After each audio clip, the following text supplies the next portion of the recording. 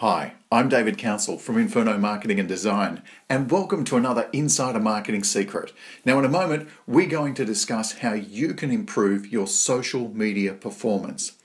Before we do that, let me ask you do you know someone who could use some help with their advertising and marketing? I bet you do. Why don't you share this podcast with them? Really, it's very easy. All you've got to do is either let them subscribe from our webpage, or this is the better one get them to go to the iTunes store and subscribe there. Both options are absolutely free, but through the iTunes store, it doesn't get emailed to them, it gets uploaded to their mobile device absolutely free every time it's released. Okay, let's get into the insider marketing secret on improving your social media performance. Now, a lot of people talk to me about social media all of the time and complain about the performance that they're getting out of it.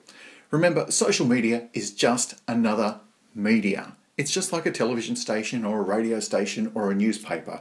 It's just got a lot of functionality in one place. And the most important thing about social media is that it's a database.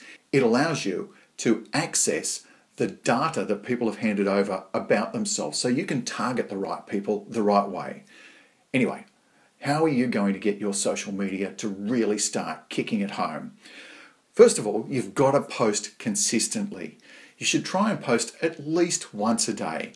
And if you use your insights, especially in uh, Facebook, you can go into Facebook Insights and see where your audience is. What time of the day are they usually checking their Facebook? What days of the week do they look most often? So that's really important. Go and check that out. Facebook Insights. So make sure you're getting your posts out there at the time of the day when your target audience is actually using social media. And that is point number two research your audience. Don't just assume that you know who your audience is. Make sure that you do the digging and find out who it is that you're talking to. I was only talking to a client just the other day, and just by looking at his insights on his Facebook, he realized that it was 25 to 35 year olds that were the key group he was after. Now, he also had a skew women to men.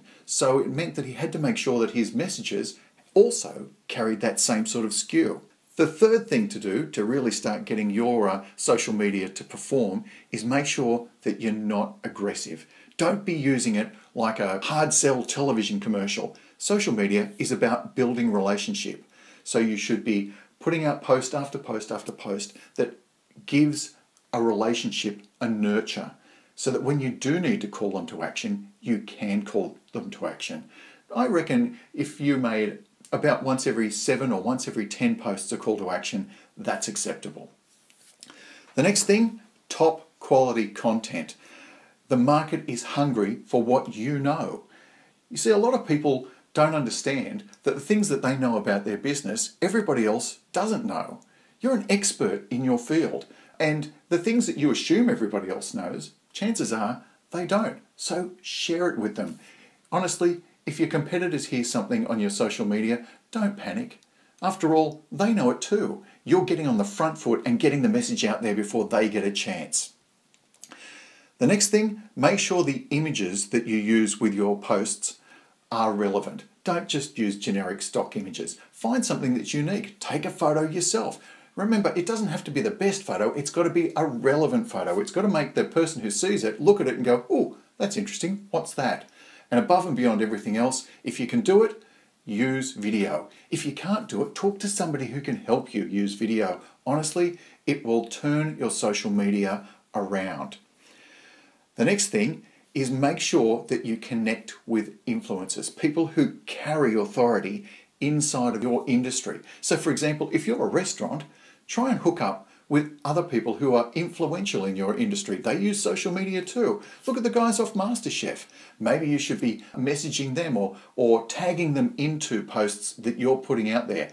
After all, if George uh, comments on something that you've posted, it carries a lot of weight, and the people that are following you will see it and really start to lap it up. And it'll also introduce you to the people that George knows. Really important. So find those influencers.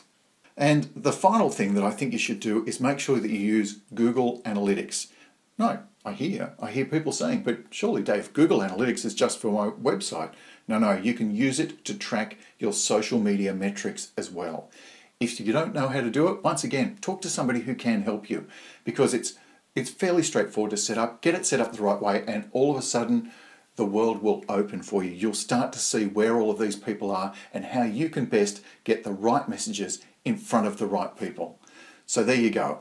That's the insider marketing secret on getting your social media to perform. A few really easy steps that you could be taking. Now, if you need help with your social media or with your advertising and marketing in general, then please feel free, give me a call. I'd love to have a chat with you about it. Or send me an email, I'll give you a call. There you go. Doesn't get much easier than that.